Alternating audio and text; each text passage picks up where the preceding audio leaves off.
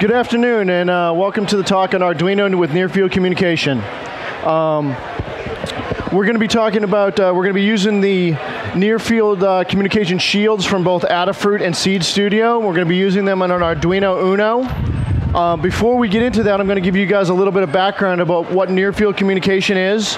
Um, there's a lot of, uh, oh, hold on, I got to get my other set of tags here. There's going to be a lot of information. Um, all these slides will be online, and hopefully, uh, hopefully I brought the right NFC tags. Um, if you guys have any questions, I'll have some time for questions afterwards. So some of the theory hopefully will sink in, but if you don't understand it all, hopefully it'll become clearer when we go through the examples. So what is NFC? NFC stands for Near Field Communication. It's similar to RFID. Um, it's actually a subset of RFID, which is Radio Frequency ID. RFID is used in things like the E-ZPass for your tolls. RFID works over a much greater distance. Near Field Communication is like 4 to 20 centimeters. Um, in reality, a lot of times you're actually taking a tag and you're putting it directly in contact with something. Um, so what can you do with uh, NFC? You can do mobile payments if you have Google Wallet and Android phone. You can share data between phones. If you have uh, like a web page open, you can put two phones together and share them. Um, I went to a conference this year and they had uh, an NFC tag embedded into the conference badge so you could scan people's badges to get their information.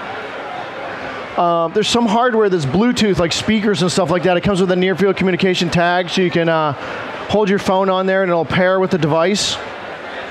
Uh, some mass transit systems use NFC also.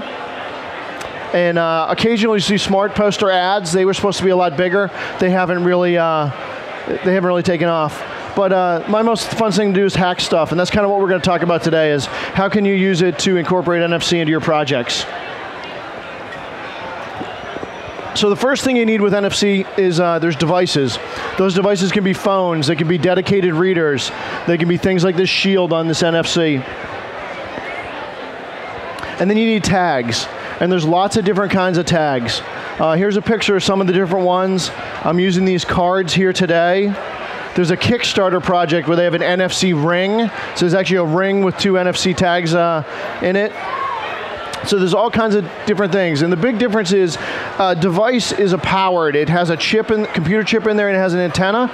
It's sending out some. Uh, it's se sending a signal out, and then in the card there's another antenna which gets that signal, powers the chip, and sends data back. The thing to think about with these tags, they hold a tiny amount of data. This right here holds 1K of data. And uh, by the time it's formatted, you get 716 bytes. And that's a pretty big tag. Um, I have some smaller tags that by the time they're formatted, you get 39 bytes to read and write data on there. Um, there are some tags that go up to 4K, but in general, you're dealing with very small amounts of data. So today we're going to be using these tags are called MIFARE Classic tags. Um, they're not officially an NFC tag, but they um, they behave like an NFC forum tag. There's also four other kinds of uh, tags. There's types one through four. The details of those aren't that important now. Um, one of the limitations with the Arduino software is it will only read and write MIFARE Classic tags, and it'll read um, MIFARE Ultralight tags. The phones, on the other hand, read and write a lot more. So one of the tags is these Samsung TecTiles. You can buy these in the in the store. Um, they're MIFARE Classic if you get the original ones. The newer ones, because the newer Samsung phones use a Type 4 tag. But among all those tag types, there's a lot of common things. They all have unique IDs. They have types, technologies, capacity, a whole bunch of properties about them. And then each tag type, it's storing the data different. There's proprietary formats. There's different security features and there's different ways to read and write them. So it's kind of a mess there. You need to know a lot of information.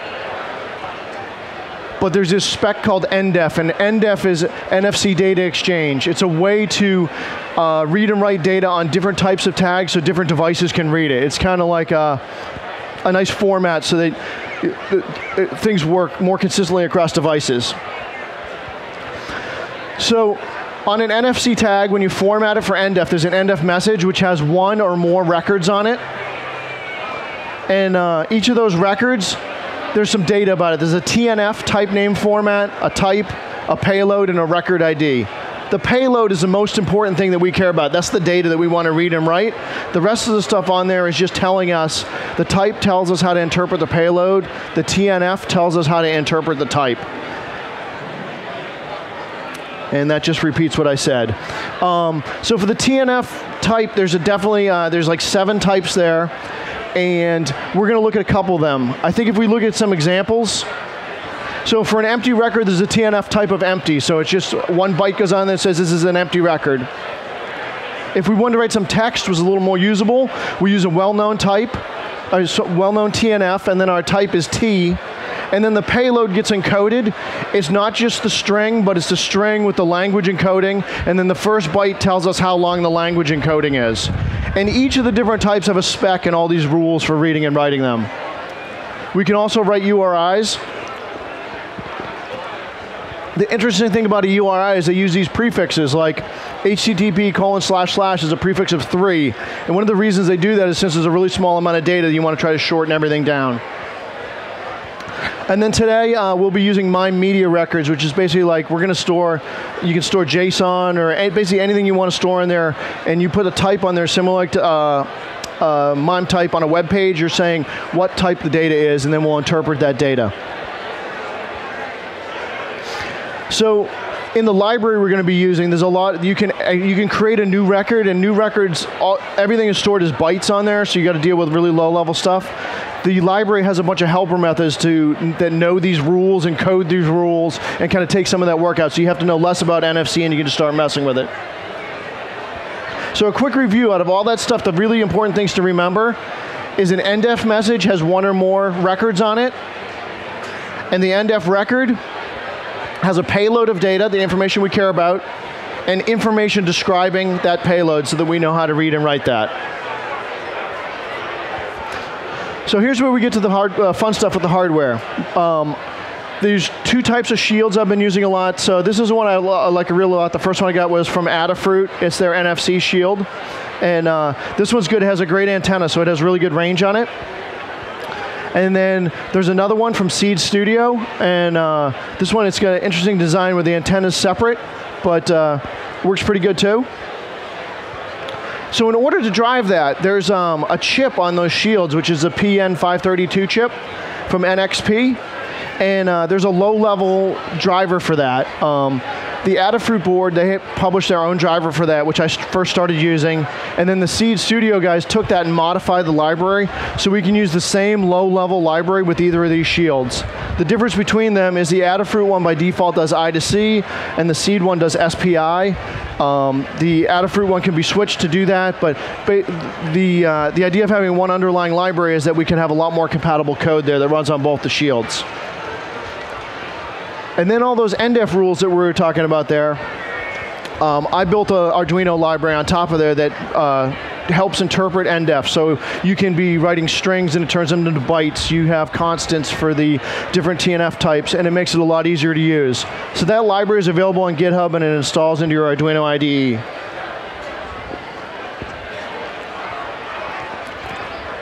So the one kind of pain point in the library still is depending on which shield you're using, you need to have a lot of include lines here. So it's in the README and it tells you what you need to do. But if you're using I2C, you got to import one way to do it. And if you're using SPI, you have to uh, do another one. Once you have your library included and you have an instance of NFC, they behave the same from that point on. So in your sketch, in a sketch, if you, hopefully uh, you guys know, and when you've written Arduino, there's two things you need to do. You have your setup and you have your loop. Once you've included those headers in the setup, you just need to say NFC begin, which is like a lot of other libraries, and it tells the library to initialize. And then if you wanted to write a tag, um, we can basically ask the, ask the library, hey, is there a tag present? Has a tag entered the field? If a tag enters the field, it'll go into this loop. We can get an instance of the message. We can add a text record, and then we say just write that to the uh, write that to the tag. And it's as simple as that to write data. If you remember, we said NDEF messages had more than one or more records, so you could add more records if you wanted. By default, the library supports four records. Um, on a message, but there's a uh, constant you can change if you want to uh, write more than that. Due to memory limitations, I lowered it down. And then when you want to read a tag, you use that same thing. You say, hey, is a tag present because you don't want to uh, call any of those other functions when the tag's not there. And uh, if a tag is present, we can just say read, which gives us this tag object.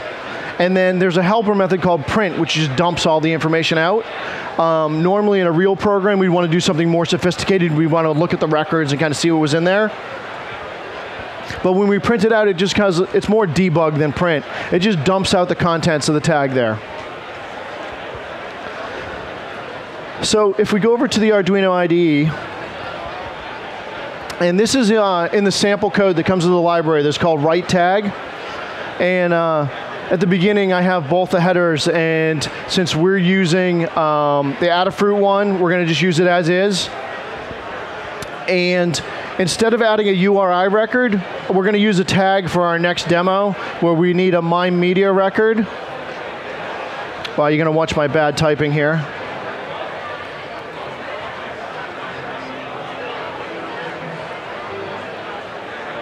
And then we're going to be controlling a string of LED lights. So uh, we're going to want to make a blue light because we're going to pass in three colors, the red, green, and blue component. I'll explain that part a little bit more. So now we have the, um, let me save this and upload it. And we're crashing.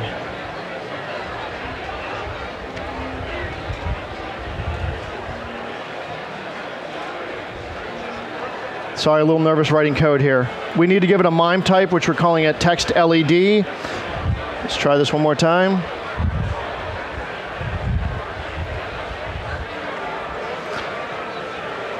So we're uploading this code onto the uh, Arduino, and now it says that we found the reader, and I'll switch to the camera here. A little tough to show both of these probably.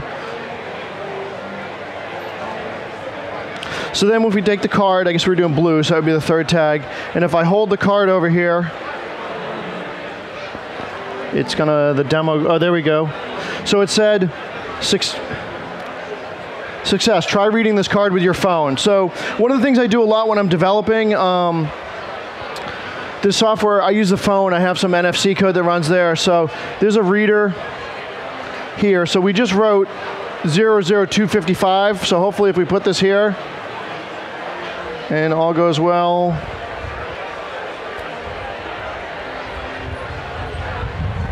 Hang on, let me restart this app. Bad day for demos.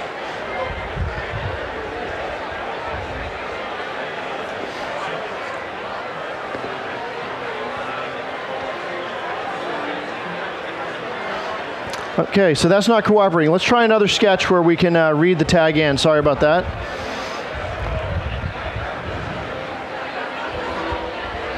So we have a read tag demo that comes with the library. We're going to upload that on here.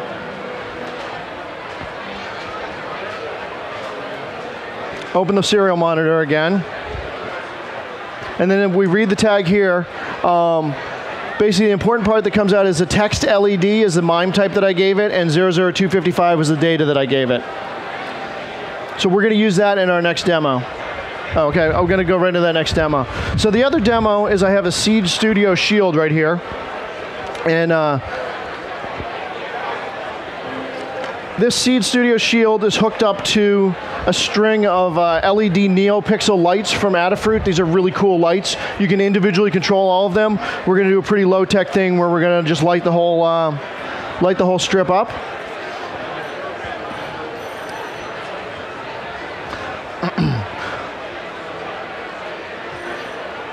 So for this one, while we're uh, loading the sketch up, we basically have in the main loop of our program, uh, we loop through and we're setting the pixel color as we go through, and then every time we uh, write the strip of colors, we read the NFC tag. And in the read NFC tag, we go in and we limit it so we're only reading once a second. We basically say, hey, is there a tag there? If there's a tag, we get the tag. We get the message off the tag. And then we check it. I make sure it's a MIME media tag and not some other tag. And if it is, I get the data off, and then we try to set the color. So these are some tags I created yesterday. If all goes well, this will work, and we can put this on here. And so this tag said 255.00, it lights it up red, oh, and then it went white because of an error. We got a green tag and a blue tag. And so this sketch here is about 100 lines of code with like very, very verbose kind of comments on what's going on. And it allows us to read and write. So also I think uh, this is a type 2 tag in here, so I can't write it with the shields, but I should be able to read it. So I can turn it green or turn it blue.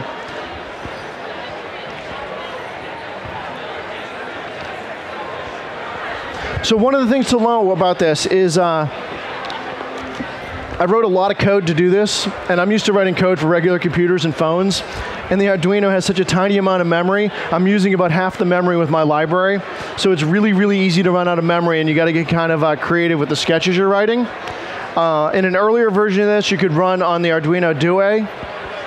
And uh, I'm hoping it runs on the Arduino Yun, but I don't have one of those yet. So hopefully we can kind of use it if you're doing a project where you're doing a lot more data you may need a bigger uh, a bigger processor with more RAM on it the other thing a lot of people ask about is peer-to-peer it would be really nice if I could take my phone and do the NFC right to the shield there that's really tricky. Um, it uses, uh, we were using NDEF before. There's a couple other protocols, LLCP and SNEP. And um, those are where you need to get this going.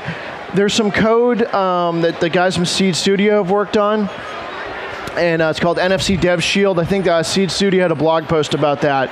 It took some of the NDEF code I wrote and some of the LLCP code that a guy, uh, Mike Weir, wrote, kind of combined them together in a mashup.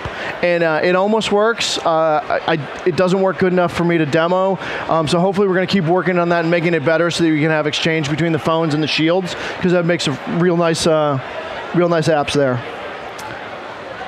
few other things I've found very helpful is when I have an Android phone with me to do this development because sometimes I'll write a tag and need to read it.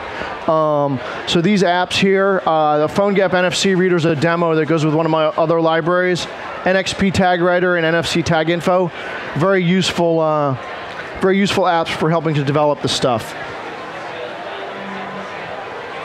Here's a link. All these slides are going to be online. So if you care about the details, you can download the tech specs. It's going to fill out a license and they let you have it. Um, and then also with uh, Tom Igoe and Brian Jepson, I uh, wrote a book for uh, O'Reilly. It's called Beginning NFC. We talk a lot about using Arduinos. We talk about uh, NFC with PhoneGap, and uh, so it's on your phones, and with BeagleBone and Raspberry Pi. So that just went to the editor, so hopefully that'll be coming out soon in electronic, and then later in the fall uh, in print. So check that out.